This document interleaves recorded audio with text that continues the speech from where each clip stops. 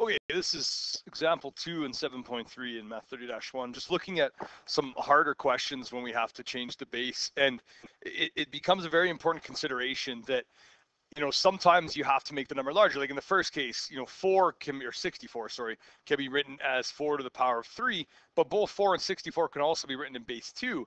And the reality is that that doesn't matter. The first thing that I would check is if the larger number can be written as a power of the smaller number. And I want to show that there's an easy-ish way of doing that, that if we look at the number four, then if I want to write the powers of four, I'm just going to keep multiplying by four.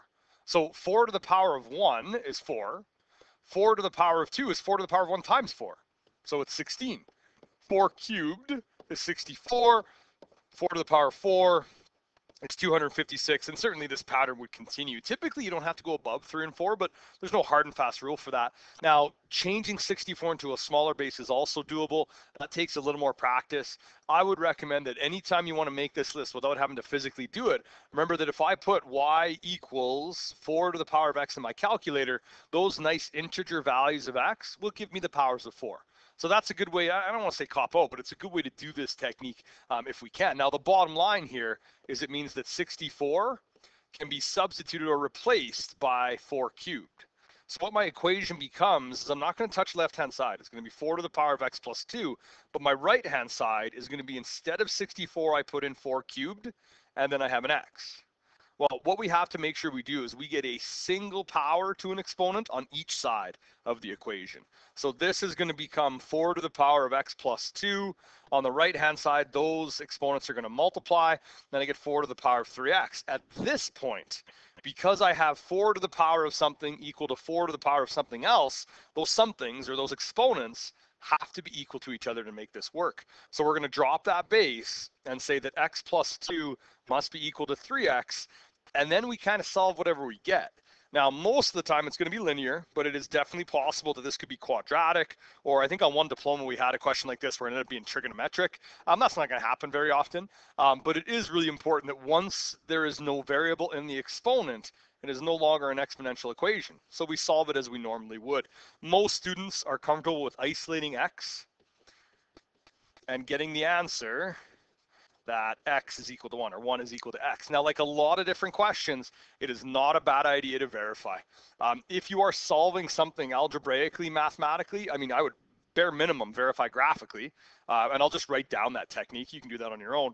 y1 would be 4 to the power of, in a bracket, x plus 2 y2 would be 64 to the power of x, and then I'll just put here that the solution would be the intersection. And I'll just put intersect. Um, and you would find that those graphs intersect at 1 comma 64. Um, the other way of verifying, it's a little bit easier, is to plug your answer, x equals 1, into both sides of the original equation. So is 4 to the power of 1 plus 2 equal to 64 to the power of 1? This is 4 to the power of 3 is equal to 64, and that indeed does give me 64 is equal to 64. So we know that that's verified and we've solved it correctly. Please do exploit that ability to do something like that. Um, it is not unique to math, but it's very, very useful, and it allows us to check that we've done things correctly. All right, example B is tougher um, because you cannot write 8 as base 4. And I want to write that again just one more time that, you know, 4 to the power of 1 is 4, then 4 squared is 16, then 4 cubed is 64, and then, you know, 4 to the power of 4, I think I put 256. Then that pattern is going to continue. I could look at 8 as well.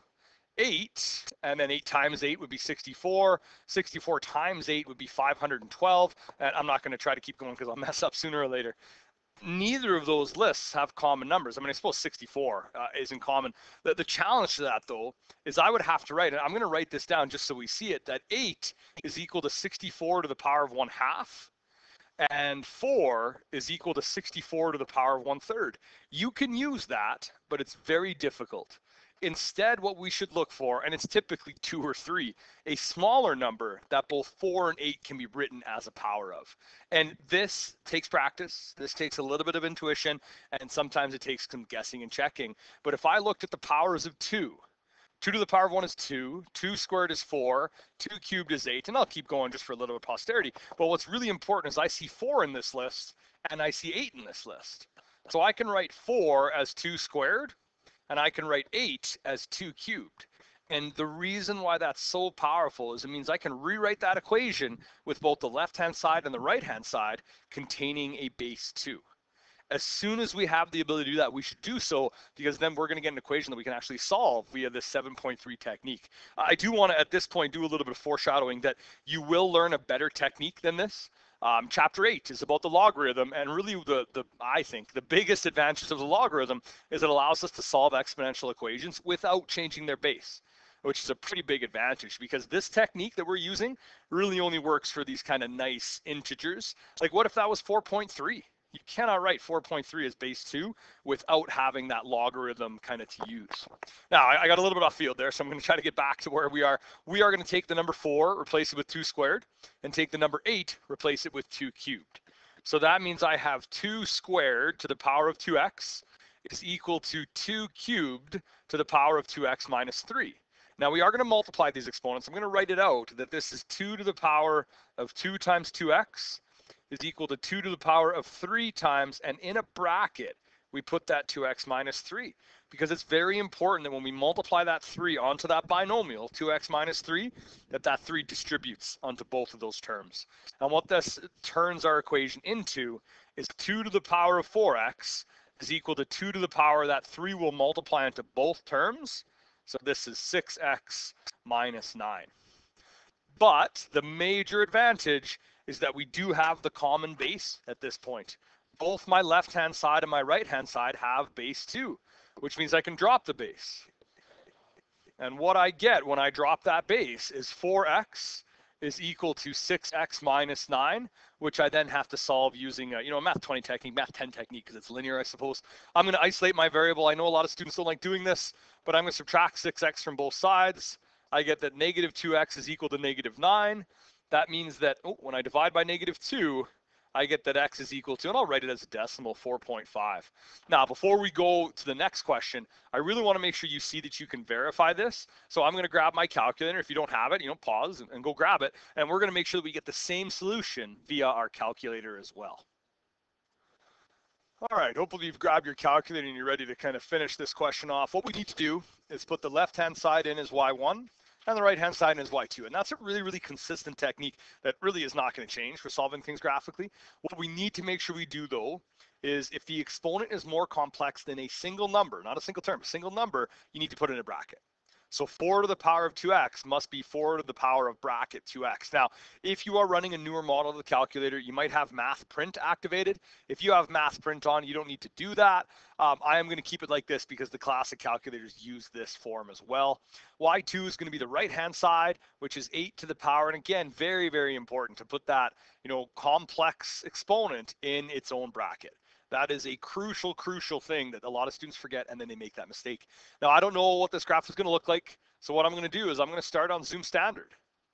And what we end up seeing is the blue graph, which is my uh, left-hand side, I suppose. Uh, and then the red graph, which we're, oh, good, we can't see it, is going to be my right-hand side. Now, it's pretty difficult to, to think that these do intersect, right? It looks like they kind of they're parallel down here, and then they they stay the same gap. Um, exponential graphs go grow very very quickly, um, and if you are stuck trying to find you know a proper window setting, I would highly recommend you go to your table and take a look at what happens as x gets big. Look, when x is two, my blue graph is already at 256 and it keeps getting larger and larger and larger. Now, um, to solve this, what we are going to do is make sure that we just tweak our window settings. Then what I'm going to do in this case is I'm going to make Y max pretty large, and I'm going to go with 10,000. And that is a guess. There's no reason why 10,000 should be the number that we use. But now what we get is a bit of a better look at, you know, the R exponential functions. And more importantly, when that red graph draws here finally, we're going to see that it does appear that it's kind of closing the gap can you see how it's getting closer near the top of the function than is at the bottom? I'm still not seeing where that intersection is. Now, some students will blindly trust their calculators, or they'll, you know, hit trace and put 4.5 in. And you can check your answer, right? When I put 4.5 in for Y1, I get 262,144. If I go up onto the red graph and I put 4.5 in, oops, I didn't hit up at the right time. Just gonna get out of that. So if I hit trace and hit up to my red function y2, if I type in 4.5, you're going to see a pretty familiar looking number, right? They have the same value. I like to see that intersection. So knowing that happens at 262,000 is actually pretty important because it means I'm going to make this what I kind of felt was ridiculously large, but 500,000. And now when I graph it, we will actually see that intersection point because it's only happening at 262,000. So we went kind of twice as big as we needed to. So now looking at that red graph, we will see that it's below the blue function. And then all of a sudden near the top, it looks like it's above the blue function. That means they had to cross somewhere in here. To find that solution, it's second trace option number five, which is the intersect.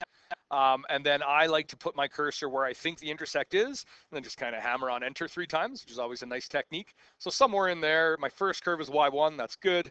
My second curve is Y2, that's good. And then the guess, unless there's multiple intersections, it doesn't matter. So I'm just gonna hit enter. And it tells me that my intersection or the solution is when X is equal to 4.5. So I really do think that if you're solving something and you have a little extra time, um, you should check it on your calculator or check it on Desmos or you know any graphing utility will do this. But it's really important that something as concrete and as direct as solving something algebraically, it's very very worth verifying or confirming, I guess, with a graph as well.